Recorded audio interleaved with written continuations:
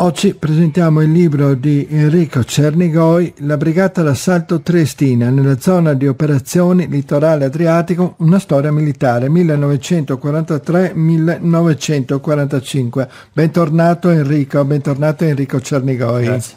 Sei laureato in storia contemporanea, hai conseguito il dottorato di ricerca in Gran Bretagna ed è autore di vari libri e articoli sulla prima e seconda guerra mondiale che abbiamo già avuto modo di presentare qui a tracce, soprattutto quelli che riguardano i sommergibili anche in particolar modo. Ecco, qui invece ti sei spostato a terra. Sì. ecco, come, eh, da dove nasce questo volume? Quali sono intanto le tue fonti? Allora, il volume nasce perché Lampi di Fiumicello eh, ha ehm, preso in eredità alla morte del comandante della brigata d'assalto triestina ehm, Riccardo Giaccuzzo il suo archivio. Quindi negli anni... Nel 2009. Dal 2009 fino al 2015 hanno tenuto l'archivio, hanno cercato di sistemarlo e nel 2015, verso l'estate del 2015, la fine del 2015, mi è stato chiesto se potevo scrivere una storia sulla brigata triestina utilizzando il, il materiale del, del, comandante Giacuzzo. Siccome io avevo già lavorato sulla, sulla, sulla guerra partigiana, la guerra fredda, con la tesi del mio dottorato di ricerca, che poi si è tradotto in un libro, Scelte politiche e identità nazionali, poi avevo lasciato questo, questo filone per poi dedicarmi appunto ai sommergibili e altri libri. Ho detto che sì, accettavo di fare questo lavoro eh, rendendolo più moderno, nel senso che questo materiale era già stato utilizzato, erano già stati scritti due libri dallo stesso comandante Giacuzzo però eh, limitatamente al materiale suo, alcune parti del suo materiale, senza eh, tutto quello che era uscito dagli archivi, perché all'epoca, quando il comandante Giacuzzo scrisse questi libri, non era disponibile. Mentre tu sei andato anche in Gran Bretagna, poi ah, tra l'altro sì, la ricerca si è estesa. Sì, io lavorando in Gran Bretagna all'epoca ho avuto modo di accedere a più archivi, non solo il National Archives, e, e, ho trovato moltissimo materiale inerente alla brigata triestina, ma più in generale alla guerra partigiana, alle azioni di controguerriglia qui. Quel materiale lì, più il materiale proveniente dalla Germania e più, materi- e più quello che è stato edito fino ad, os- fino ad, oggi praticamente, mi hanno permesso di avere un quadro pressoché eh, completo, anche se non al 100%, perché altrimenti la ricerca storica sarebbe finita, sul, sulla, sulla, genesi, sulle azioni e sulla fine della brigata triestina. Perché dobbiamo sempre ricordare che la storia è una materia sempre in evoluzione, non dobbiamo mai scordarlo questo dettaglio. Allora, chi era intanto Riccardo Giacuzzo? Giacuzzo era, eh, tanto era nato a Fiumicello, ed ecco perché l'archivio è a Fiumicello, era un operaio dei cantieri navali, poi era stato richiamato in guerra nel 1940 ed era andato a fare una delle cose più pericolose che esistono in guerra, il, nella, che esistì nella seconda guerra mondiale, il trasporto di materiali tra la Sicilia e l'Africa orientale su una nave. Lì rimase per tre Quindi anni. Navi in convoglio, attacchi navi in convoglio, attacchi, di attacchi esatto. di, della flotta inglese esatto. a Malta. Aveva una certa esperienza di guerra, nel senso che aveva già tre anni di guerra. L'8 settembre come tutti quanti, eh, cercò di tornare a casa, riuscì a tornare a casa e si unì subito ai partigiani. Si unì ai partigiani nella parte del Friuli, perché non riuscì ad arrivare fino a Gorizia perché le, le, le, azioni erano abbastanza fluide in quel momento e poi grazie ad un'azione um, lo, si avvicinò verso Pieris e da lì prese contatto con quelli che erano rimasti dopo la battaglia di Gorizia sul carso di, di Comeno ed entrò nel, nel, nel, nucleo centrale di quello che sarà poi il battaglione triestino e la brigata triestina. Ecco, da chi era composta intanto? Boh, era composta prevalentemente all'inizio dagli operai del cantiere di Monfalcone, da militari che erano sbandati e si erano trovati l'8 settembre a, a decidere Quindi sulle no, loro... Non necessariamente veneti o friulani, ma venivano da altre parti d'Italia, certo, anche dalla Sardegna. Dalla Sardegna veni- I sardi arrivarono dopo, venivano mm. dalla Calabria, venivano dalla Lombardia, venivano dalla Toscana, da Roma. Moltissimi però erano gli operai di Monfalcone, bisogna ricordare che l'8 settembre mm, gli operai di Monfalcone eh, si mettono in marcia, vanno a Gorizia e combattono, cioè iniziano la resistenza, la resistenza nasce proprio a Gorizia, loro immaginano di fermare i tedeschi, questo, l'arrivo dei tedeschi a Corizia e invece purtroppo i tedeschi arrivano, li sbaragliano per via del forte armamento militare ma anche dell'esperienza e questi si ritirano, si ritirano anche le truppe slovene e un gruppo rimane, un gruppo rimane come gruppo quadro praticamente, in, in, eh, aspettando gli eventi. Lì Giacuzzo li raggiunge, un gruppo veramente minuscolo che però rimane, si comincia ad ingrossare e, fer- e darà vita al battaglione. Ecco, del tuo libro mi ha colpito molto, tantissime pagine all'inizio le dediche le dedichi alla entrata in guerra dell'Italia, soprattutto alla preparazione da un punto di vista militare, nelle luci che assolutamente non eravamo pronti a farlo. No, no. Eh, la mia è stata una scelta, quella di dedicare parecchie pagine a questo problema qua. Anche perché ehm, ora, eh, quando si parla di resistenza e seconda guerra mondiale, molto vivo l'interesse, ma è altrettanto vivo l'interesse tra gli specialisti, quindi si perde di vista l'insieme. E se si perde di vista l'insieme diventa un discorso sterile perché uno dà per scontate alcune cose, alcune cose non sono effettivamente così scontate. È per questo che pongo l'accento su quelle che erano le preparazioni militari dell'Italia, che purtroppo all'epoca erano scarsissime. Il regime aveva sì pompato sulle forze armate, sulla forza della nazione, era riuscito, e questo è vero, ad ammodernare la, la Regia Marina ed era una, un'arma efficiente e moderna, ma non lo era così per l'aviazione, non lo era così neanche per l'esercito, soprattutto per l'esercito. Mancava proprio l'addestramento, mancavano le armi, mancava la mentalità. Ecco. Se non si riesce a capire questo, non si riesce neanche a capire lo sforzo che queste persone hanno fatto poi per dare vita alla guerra partigiana. È vero che nei due anni, dal 1940, del 1940 al 1943, questi uomini avevano acquisito una certa esperienza, ma avevano acquisito una certa esperienza negativa però, perché quasi tutte le battaglie che loro fecero erano perse, cioè, non erano battaglie eh, vincenti, però vedevano quello che facevano i tedeschi. I tedeschi, d'altronde io poi lo, lo lo sottolineo, avevano un'organizzazione militare efficientissima e andare contro di loro lì, questo era il vero problema. Ah, prima hai accennato agli sloveni, la resistenza in Slovenia, in Slovenia c'era già da parecchio sì. tempo. Eh, la resistenza slovena, molto organizzata quindi. Boh, la resistenza slovena si organizza praticamente quando eh, l'Italia e la Germania aggrediscono la Jugoslavia e si spartiscono quello che resta di Jugoslavia. È certo che la popolazione non accetta di buon grado questo, questo dato, questa sconfitta militare e cominciano a, eh, a, ribellarsi. È logico che ci sono varie, eh, varie mh, mm, fazioni.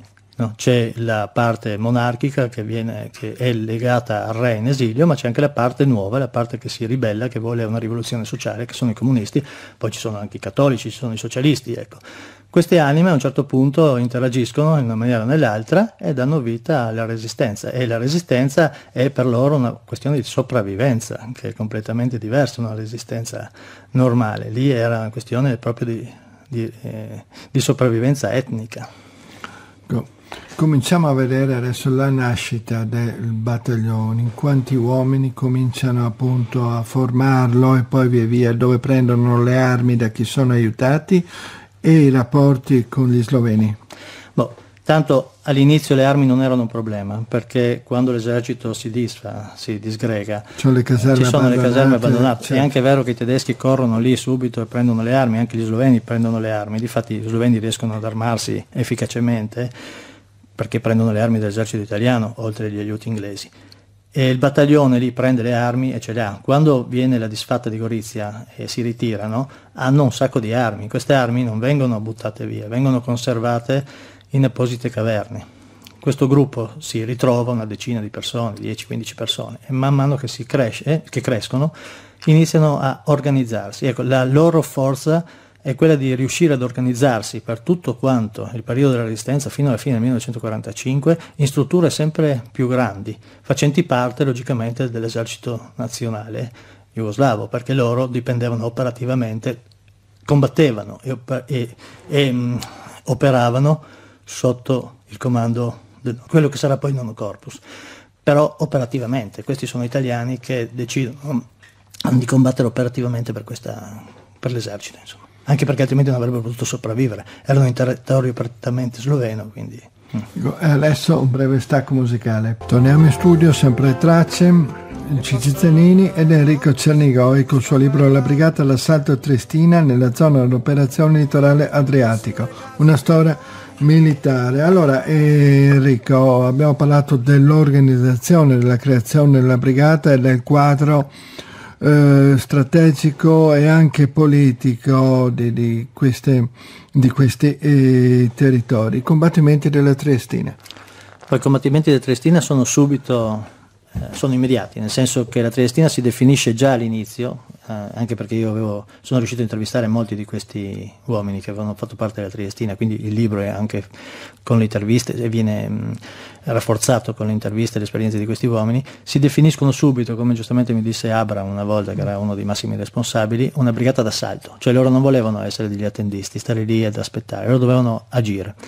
Iniziano ad agire con... Uh, il problema è che per iniziare a voler agire, ad agire c'è un abisso, quindi iniziano un po' alla volta addestrandosi, imparando come si fanno gli agguati e da lì, anche grazie alle esperienze di alcuni militari bresciani che erano rimasti con, brigata, con, il battaglione triestino, avevano avuto delle esperienze durante la campagna di Jugoslavia, nelle azioni contro i guerriglia, avevano appreso come i partigiani eh, agivano, iniziano a porre in essere degli attentati a, contro i tedeschi logicamente, a bloccare strade, a sequestrare persone, materiale e iniziano a farsi sentire. Mano a mano che si iniziano a farsi conoscere, diventano oggetto sia di ricerca da parte dei tedeschi, ma anche eh, di volontà di moltissimi che avevano combattuto nella battaglia di Gorizia di voler far parte di questa brigata e quindi iniziano ad affluire sempre più giovani. Ecco il ruolo dell'Inghilterra in appoggio. Ma lì io nel libro parlo molto dei servizi segreti inglesi perché eh, do l'analisi che i servizi segreti inglesi vedevano prima nella Jugoslavia e dopo nella Venezia Giulia. La Venezia Giulia è l'anello di congiunzione tra i Balcani e l'Italia, una, era la via principale per i rifornimenti del Reich e diventava un obiettivo strategico per gli inglesi. Quindi gli inglesi pongono eh, loro, la loro focalizzazione su quelli che sono i mezzi di trasporto, le vie di comunicazione per interromperle, quindi interrompere la resistenza che i tedeschi opponevano soprattutto nell'Italia alle loro forze armate, ma anche in Jugoslavia contro le forze partigiane. E lì gli inglesi hanno, mandano delle missioni, che sono missioni dello Special eh, Operation Executive, ma anche dell'MI5, MI6, e questi eh, studiano attentamente tutto quello che concerne l'organizzazione militare. E lasciano un sacco di materiale, cioè lasciano talmente tanto materiale che si può fare benissimo una storia delle formazioni militari in Venezia Giulia partendo dai loro rapporti di fine missione, anche perché eh, gli inglesi da un lato sovvenzionavano la guerriglia dando esplosivo, dando vestiti, anche, anche generi alimentari, dall'altro però siccome i, la pace comunque prima o poi sarebbe venuta, in previsione di questi trattati di pace controllavano anche la forza effettiva militare. Il libro è esclusivamente militare, quindi parla e vede solo le cose da questo punto di vista. In questo punto di vista gli inglesi li controllano e li studiano, ma ne studiano anche i caratteri psicologici, quindi noi siamo, eh, possiamo farci un'idea di, oh, di personaggi. Pensando anche al dopo? Sì, soprattutto pensavano al dopo loro. Loro la guerra la davano già per vinta. Naturale. E i rapporti con i titini? Beh, i rapporti con i titini non potevano non avere rapporti questi. Questi erano italiani, molti erano anche di origine slovena, c'erano italiani, padre italiano, madre slovena o viceversa. lottavano e combattevano nella selva di Tarnova nel Carso di Comeno, che è prettamente sloveno, e quindi se non avessero avuto dei rapporti con i partigiani sloveni, rapporti franchi di collaborazione non avrebbero potuto resistere lì, perché lì era parte di una zona di operazione del nono corpus dell'esercito di operazione jugoslavo. E quindi senza un accordo preventivo non avrebbero assolutamente potuto sopravvivere. E gli inglesi e i titini in questi momenti? Eh, gli inglesi e i titini lì dipende molto anche dagli ufficiali addetti al SOE che entrano nelle missioni, come interagiscono in empatia con il comando del Corpus e quali sono le direttive politiche. Il PSOE non aveva una linea politica unica, aveva più livelli di linee politiche e di interpretazione di aiuti militari. Eh, con, un, con, un, maggiore i sloveni vanno in contrasto, ma anche lui va in contrasto con questo, con questo maggiore. Poi questo viene spostato, arriva un altro e i rapporti tendono a migliorarsi. Logicamente verso la fine della guerra i rapporti vengono deteriorati dalla volontà di Tito di non rispettare gli accordi fatti a sua insaputa da Churchill e da Stalin sulla spartizione della Jugoslavia. Ecco e quindi eh, tutto si riflette nella, nell'operatività di queste persone e soprattutto nella, nell'aiuto che gli inglesi danno ai partigiani. Aiuto che comunque bisogna essere chiari, gli inglesi lo danno fino alla fine della guerra, fino ad aprile 1945 loro continuano ad aiutare, continuano ad aiutare e continuano anche a studiare. Tu parli già della fine della guerra, aprile 1945, quali sono stati appunto gli ultimi scontri e com'era posizionato boh, eh, il battaglione esatto verso, verso, la fine della guerra. Insomma. Sì, beh, eh, il battaglione a un certo punto arriva talmente tanta gente, eh, arriva anche tanta gente da fuori, arrivano i, i sardi, i ferraresi, in, in, gruppi molto consistenti e diventa troppo grande per stare sul Carso di Comeno. Quindi deve essere spostato nella selva di Tarnova, dove la vegetazione e l'orografia del terreno gli permettevano di vivere in maniera più normale. Il Carso, bisogna ricordarsi che fu teatro della prima guerra mondiale, quindi era completamente spoglio, un'unità di 200, 300, 400 persone che cammina sul Carso vengono facilmente individuati. Lo spostamento nella selva di Tarnova comportò la creazione di una brigata, cioè non, non erano più il battaglione dell'inizio, ma divennero proprio una brigata effettiva.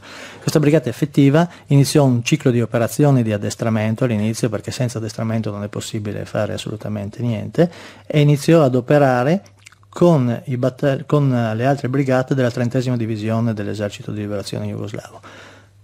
Fece moltissime azioni e dalla fine dell'estate del 1944 alla primavera del 1945 sopportò una serie di azioni di controguerriglia tedesca che portarono alla perdita di numerosissime persone. La, la, brigata alla fine della guerra conterà 514 morti, morti in combattimento, non morti da altre parti. Insomma e, e conterrà anche l'afflusso di migliaia di, di, giovani che entreranno nelle sue file, che poi saranno spostati in altre brigate eh, dell'esercito, sia della CLN che anche del nono corpus.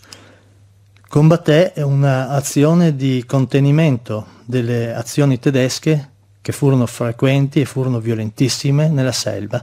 Combatté pr- principalmente contro i legionari caucasici, contro gli uomini dell'SS e contro la 188esima divisione di riserva e combatté anche contro il battaglione, battaglione Mussolini che teneva il fiume del Bacia sociale, della Repubblica certo. Sociale. Ecco. Questo lui, il battaglione combatté in maniera totale, in maniera militare, in maniera totale proprio. E arriviamo alla fine della guerra, alla smobilitazione. Mm. Cosa puoi dirci? C'è la destinazione di questi uomini? Boh, alla fine in aprile la brigata riesce a salvarsi dall'ultimo accerchiamento andando verso il lago di Bohinski. È un accerchiamento pesantissimo, dove i tedeschi eh, la vogliono far finita. Sì, I tedeschi sapevano di, dover, di essere lì e lì per perdere la guerra, però eh, avevano l'intenzione di finire quello che avevano cominciato, eliminando tutti i partigiani. Quindi attuano un'azione di ehm, rastrellamento sulla selva che costringono tutte le brigate del nono corpus a, a lasciare la selva, a liberarsi. La brigata triestina ha ormai una certa esperienza, è una, una brigata militarmente efficiente, riesce ad aprirsi il varco, si libera e arriva sul lago di Bokinski e lì aspetta la liberazione. Finita la liberazione, eh, la brigata, che ricordiamo era in prestito operativamente perché era una brigata italiana, Viene mandata a Trieste con le brigate Garibaldi dove entra anche operativamente sotto il suo comando, rimane a Trieste mi sembra un mese, un mese e mezzo, poi va a Palmanova e smobilita. Una volta smobilitati quasi tutti i suoi uomini, i sardi tornano in Sardegna, gli emiliani tornano in Emilia, i calabresi in Calabria, i monfalconesi, che ormai sono la stragrande maggioranza, i monfalconesi intendo la parte di, della bassa pianura fragulana, e Ronchi, Lisontino, ecco, non solo di Monfalcone tornano a fare gli operai nei cantieri di Monfalcone. Questa è la loro fine. Eh? E il comandante Riccardo Ciacuzza? Eh, Riccardo Giacuzzo no, Riccardo Giacuzzo eh, invece segue l'armata jugoslavia, si ritira con uh, l'armata, lui ormai è un ufficiale dell'armata uh, jugoslava, si ritira in Jugoslavia, f- mm, rimane sotto le armi fino agli anni 50, dopodiché si congeda e, vive, e va a vivere a Pirano praticamente fino alla sua morte.